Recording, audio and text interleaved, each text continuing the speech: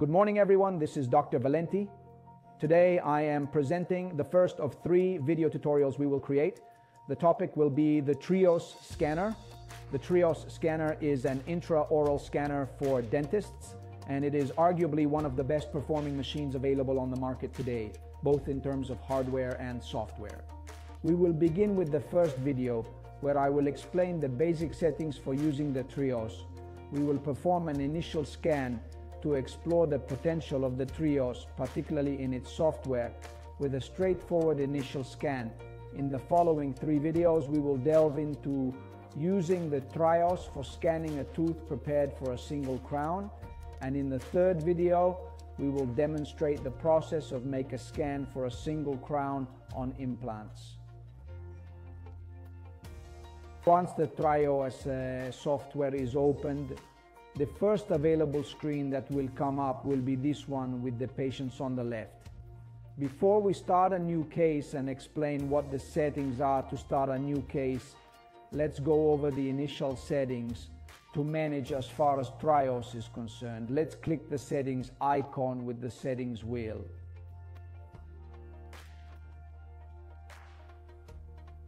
And we go to a whole series of submenus. There is a general menu that covers the information related to 3Shape support and the use of the on-screen keyboard.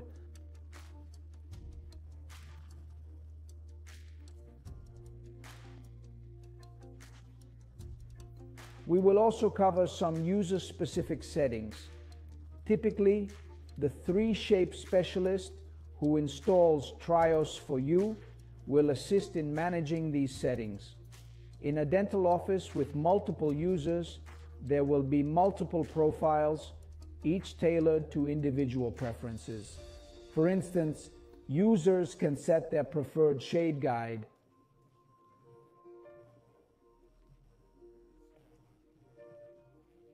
You will manage the name to your liking. The advice I give to Italian users is to use, as far as the user's name is concerned, the doctor's first and last name, and possibly the medical association number. This way, your digital prescriptions will be legally valued because your number registration will be present.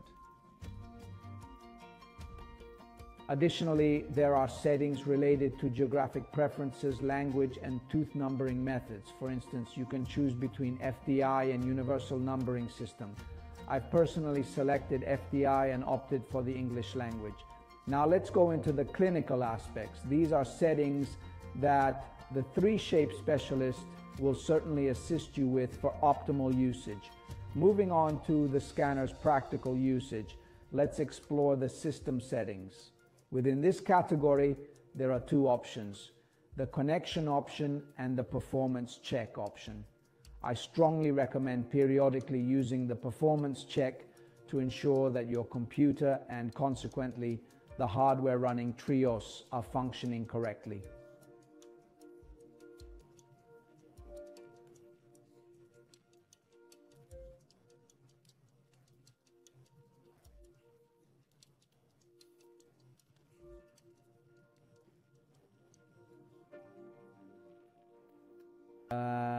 Let's go to the scan settings and then the actual scan settings. We have the option to uncheck the insane mode. So it is an option that speeds up the scanner performance a lot, but it must be supported by sufficient PC hardware. I always recommend using this feature to speed up scanning. Artificial intelligence can also allow the scanner software to recognize soft tissues such as the tongue and cheeks and eliminate them automatically during scanning.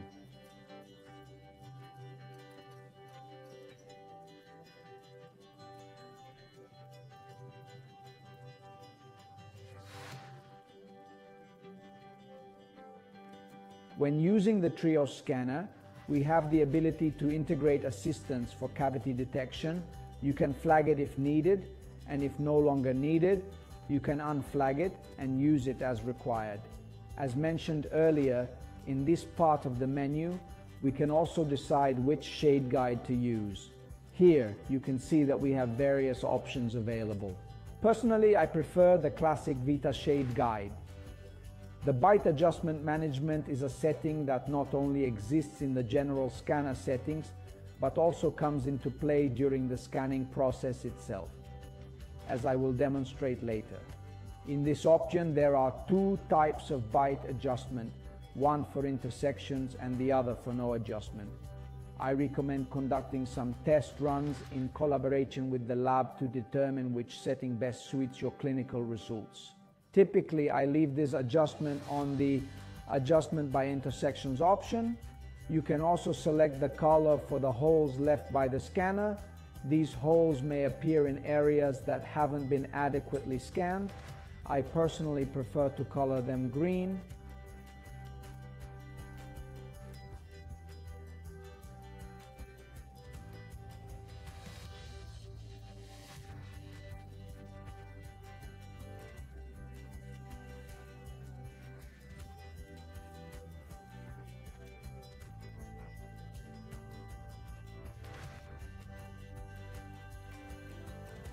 When it comes to the zoom level of the scanner, I leave it on automatic. I don't make any changes. Additionally, there are other settings that I personally leave at their default values as the software sets them for me. For instance, the option to have a button on the screen that can activate or deactivate the scan during the scan process itself without needing to use the scanner's hardware button. Also, Having the timer, scan time, and the number of images displayed can be valuable information during the scan. Another important option at this stage is whether to include patient-specific motion, essentially what we refer to as dynamic occlusion in the default workflow. I recommend enabling this option so that you can include dynamic occlusion in your workflow after static occlusion. You can also set the range for patient-specific uh, motion bite contacts, which can vary between 8 and 200 microns. To start with, I suggest keeping it at 40 microns, and later you can assess whether to adjust this value. Moving on, there are sound indications, allowing you to use auditory cues that provide feedback on how the scanner is performing. I strongly recommend using the sound feature as it is very helpful during the scan. It enables you to avoid constantly looking at the screen and rely solely on the scanner's sounds to gauge the quality and speed of the scan. Another noteworthy option relates to the diameters of the holes. This is a crucial setting because it determines the diameters of the trimming cutout. My advice is to set these values to zero this means that the scanner will automatically create a cutout in the transition between the provisional and final scans. I recommend leaving it at zero so that you can manually customize the cutout for the provisional or mucosal scans later on, implant gingival emergence profile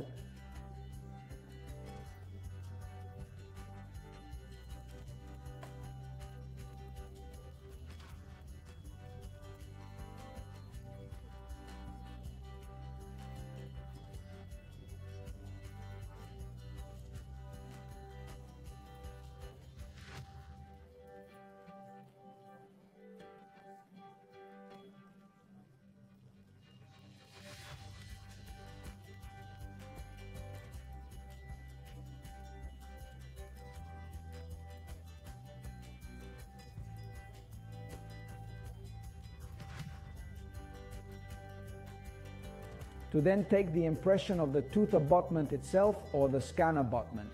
By setting these values to zero, you'll create a custom cutout. If on the other hand, you decide to input 4 or 6 millimeters, the scanner will automatically generate a hole with a 4 or 6 millimeter diameter. The issue with this approach is that the hole is often not centered on the abutment, resulting in asymmetrical cutouts. Therefore, my recommendation is to set these values to zero for both anterior and posterior preparations. This applies to the cutouts for the pins as well.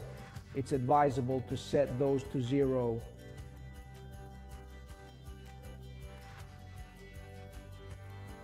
This way, you can tailor the trimming of the scans to suit the specific clinical situation you encounter. Another crucial function is the option for wireless scanning. Some scanners offer both wired and wireless capabilities. And depending on your scanner model and the situation, you can choose to enable or disable wireless use. In my case, I have a wired scanner, so I won't be using the wireless option. A significant feature is the tip info option. The Trios 4 model includes a sensor in the tips that is not present in the Trios 3. This sensor allows the scanner software to keep track of how many times a particular tip has been used, as you can clearly see in the screenshot I'm presenting. For example, it shows that the tip has been used 9 times and recommends using it for another 18 times before the next calibration. This information is crucial. My advice is to calibrate the scanner in the morning the dental assistant responsible for assisting you during the scanning stages, who is also responsible for managing the scanner in the sterilization or cleaning area, should perform this calibration as soon as the practice opens for the day. The calibration involves attaching the calibration tool to the Trios insert and following the on-screen instructions to perform the calibration. I recommend doing this every morning we also have the option to enable color measurement by checking or unchecking this box. This is one of the most exciting features of the Trios because it allows us to provide color information about the teeth to the dental lab.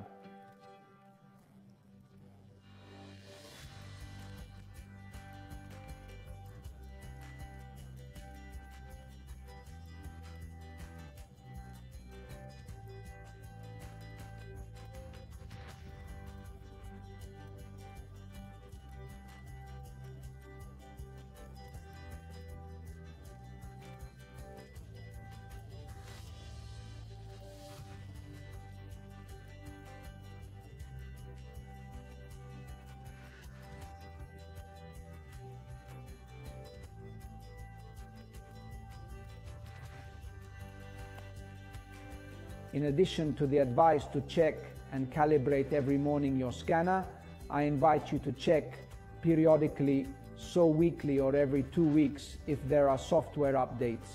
Usually the Trio software reports the presence of updates.